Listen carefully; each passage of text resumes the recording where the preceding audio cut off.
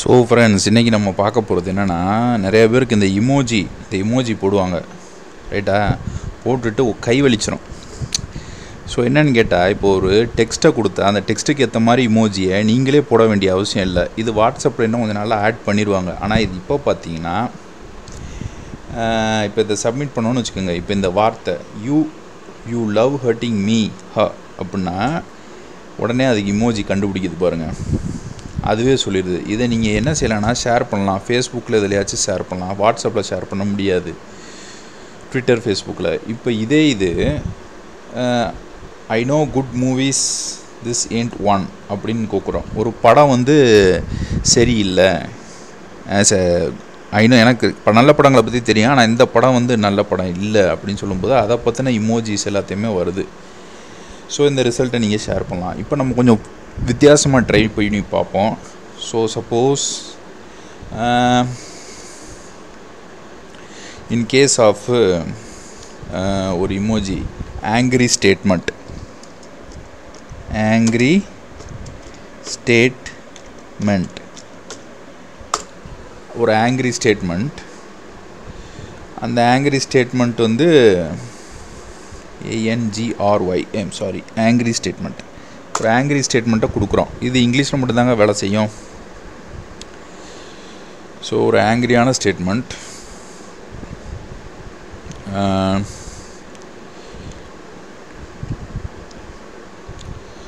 எதுவுமே சரியில்லை.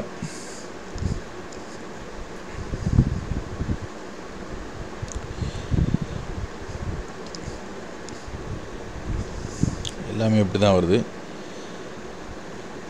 ஸோ ஒரு angry statement sample angry statement I am angry quotes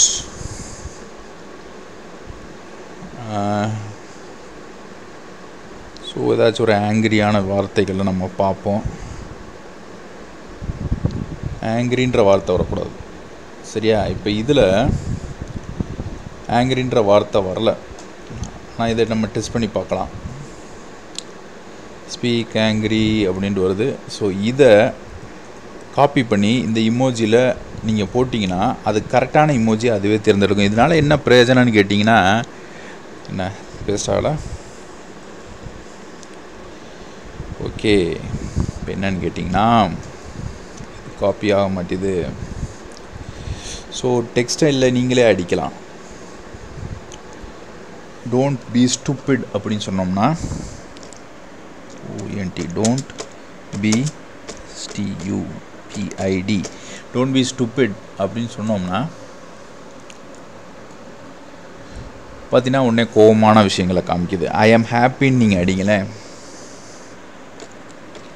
I am happy உடனே இந்த மாதிரி இமோஜி காட்டுது. பார்த்தீங்களா இதே யார் வீட்டில் இலை விழுந்துருச்சுன்னு வச்சுங்க A H E R E there is a D A D death in my U S C அப்படின்னு போட்டிங்கன்னா உடனே பயப்படுறாங்க. அந்த மாதிரி இமோஜி காட்டுது. இப்போ நான் சொல்லக்கூடாது இமோஜினா போடக்கூடாது. ஒருத்தவங்க வீட்டில் இலவு விழுந்துருச்சுன்னு வச்சுக்கோங்க எப்படி இமோஜி போடுவீங்க? போடக்கூடாது. ஸோ ஒரு வார்த்தையிலிருந்து அது எப்படி கணிக்குது பார்த்தீங்களா ஸோ இது மாதிரி நிறையா விஷயங்கள் இருக்குது ஸோ இன்கேஸ் சும்மா எல்லோரும் சொல்கிற வார்த்தை படங்களில் சொல்கிற வார்த்தை ஐ லவ் லவ் யூ அப்படின்னு போட்டோம்னா ஸோ லவ் பற்றின ஆர்டின்ஸ் இமோஜிஸ்னால் கொண்டு வருது. ஸோ இப்போ இதே இதை நம்ம வேறு மாத்திரம்னு வச்சுக்கோங்க. How are you how are you உடனே இந்த மாதிரி ஹாப்பியான விஷயங்களை போடுது. ஸோ இந்த சைட்டுக்கு போய் பாருங்கள் ஸோ ஒரு வார்த்தையிலேருந்து அதனால் கண்டுபிடிக்க முடியுது. What is happening to me அப்படின்னு கேட்டபடி இந்த மாதிரி விஷயங்களை கொண்டு வருது. நீங்கள் டைப் அடித்தும் பார்க்கலாம். ஸோ உங்களோட சுச்சுவேஷனுக்கு ஏற்ற மாதிரி நீங்கள் எப்படி இமேஜி போடுறதுன்றத நீங்களே கணிச்சுக்குங்க. ஸோ இதுதான் நம்ம இதோட இது. செயற்கை நுண்ணறிவு உதவியன் இமோஜி போடுவது எப்படி? ட்ரை பண்ணி பாருங்கள் thank you friends like share subscribe பண்ணுங்கள்